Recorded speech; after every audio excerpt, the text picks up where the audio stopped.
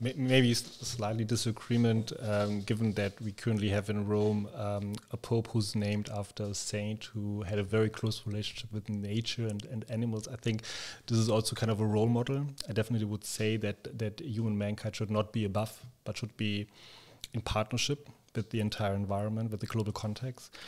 But I subscribe to everything that you've just said, especially when it comes to biodiversity. We didn't tackle this so far, but we've never had in such a short period as in recent years lost so many species worldwide in, in, in human mankind history. I mean, this is horrible. Uh, I mean, given that this has a huge impact on the ecosystem, not only, I mean, we can start with the bees in Germany and, and continue with, with the rainforest in the global south and see what kind of damage was already produced.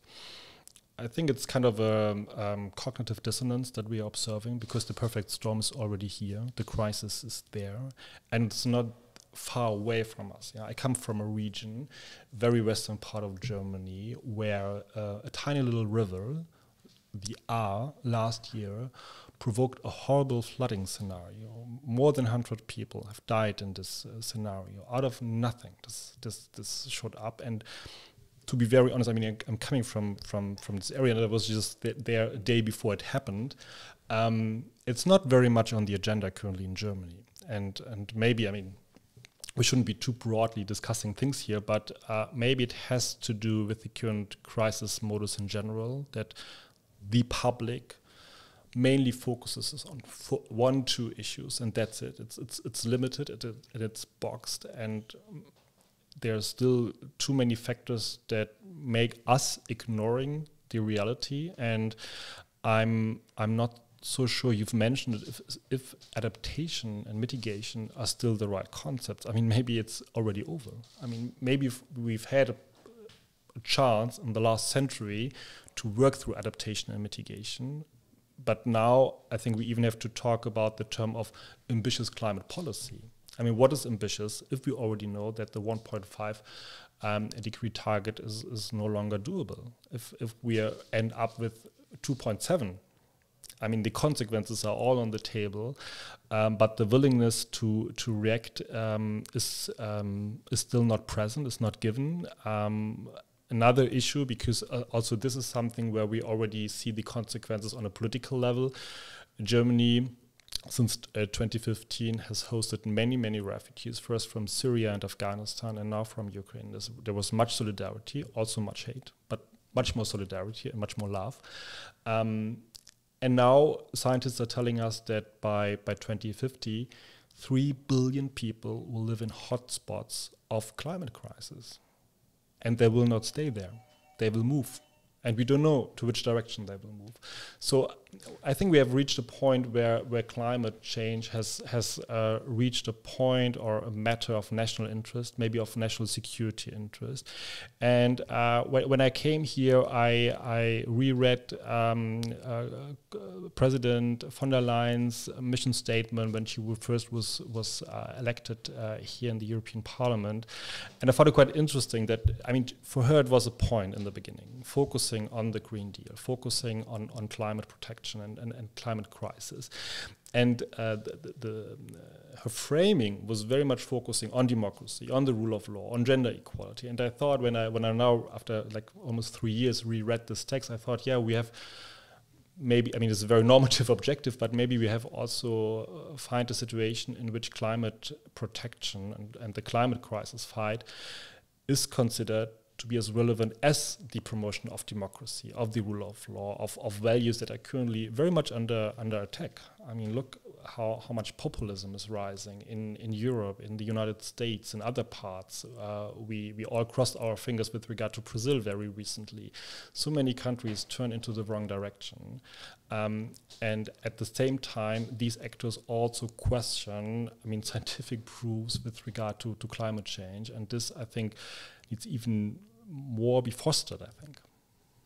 Um, just to add what you said, I mean, just to clarify, I didn't mean that Catholic Church or Christians are putting a human being into the center of everything.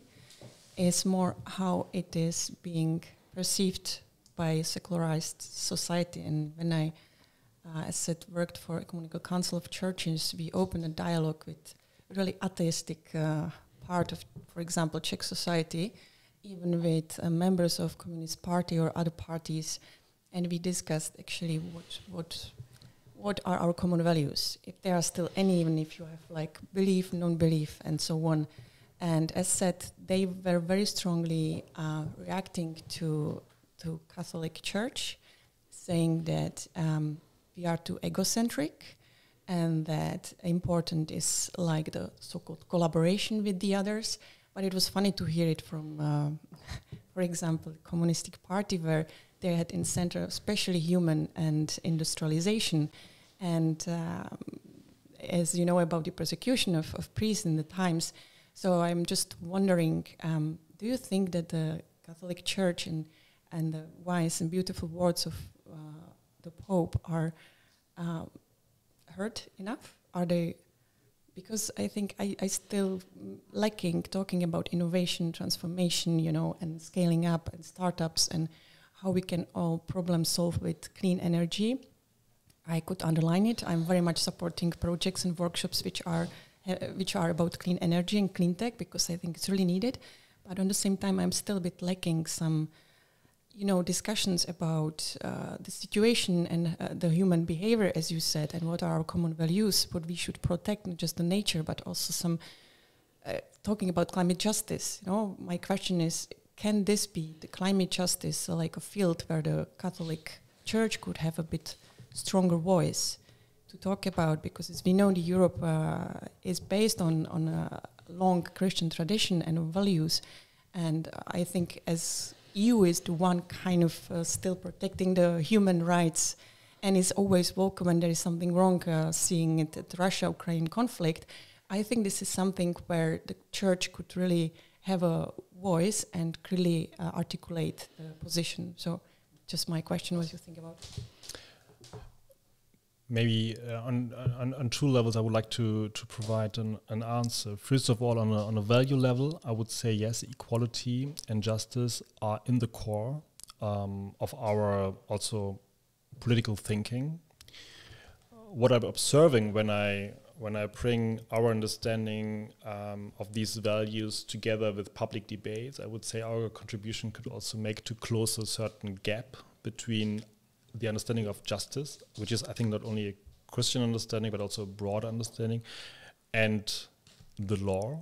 I mean, the, I think that we also, given the current debates that we are seeing on, on climate crisis, we clearly see that a new generation has a different understanding of what justice should be. And I think the law should provide the platform that justice will be promoted and protected.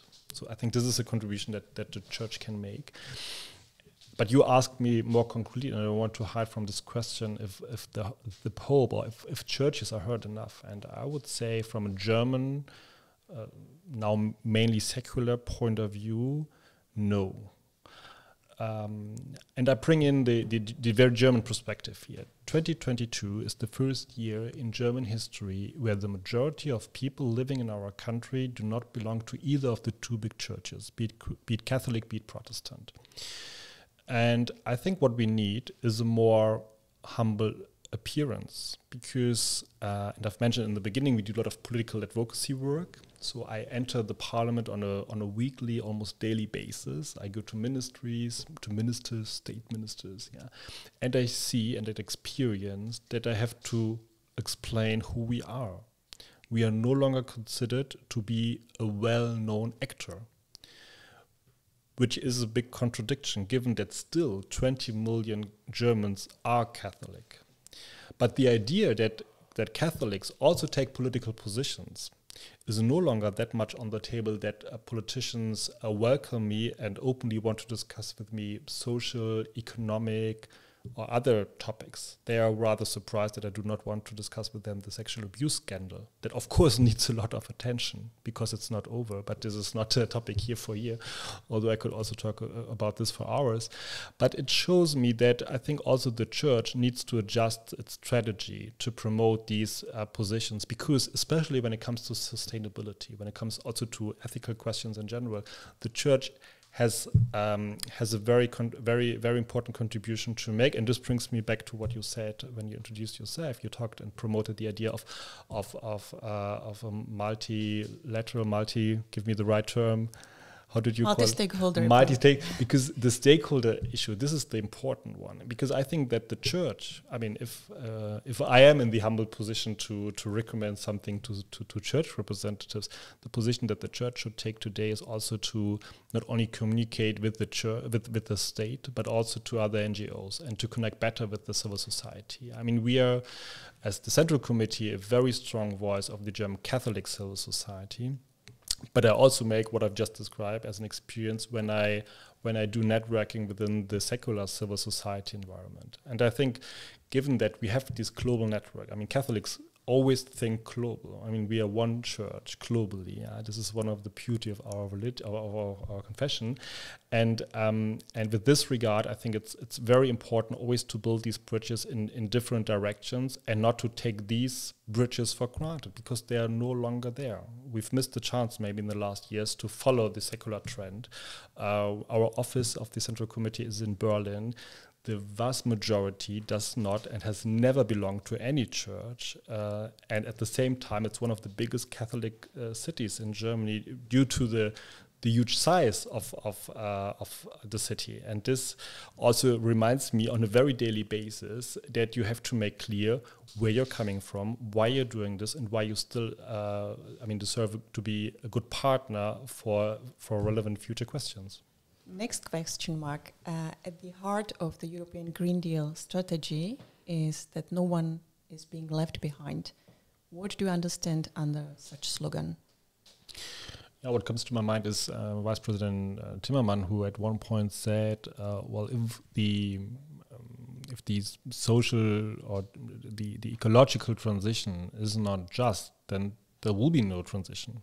So I think it's it is very important to take a very holistic approach to think about the marginalized society, soci social groups, not only within Europe but also um, globally. And I mean, coming from Germany, we are very convinced of of subsidiarity to think about different political layers where decisions first of all need to be taken but also translated and, and explained uh, and this is something where also we as a church, I think, can can do a great contribution. We work as an umbrella organization, so we take a very elite perspective, let's say, because we address uh, Catholic national interests into into the political arena in in Germany, but through our structure, we have direct access to each and every parish in Germany. Uh, and I think this is this is also the beauty of, of the Catholic Church that we as a partner can contribute to better translation and to better maybe also conversation between politics and, and individuals on the needs to to embark on such a um, broader transition. And in the end, yes, everybody has to understand that he, she is also addressed as an object and an, and an subject because this person is in the end also asked to change individually. Um, so I think this is this is one dimension when it comes to the let's say the EU family.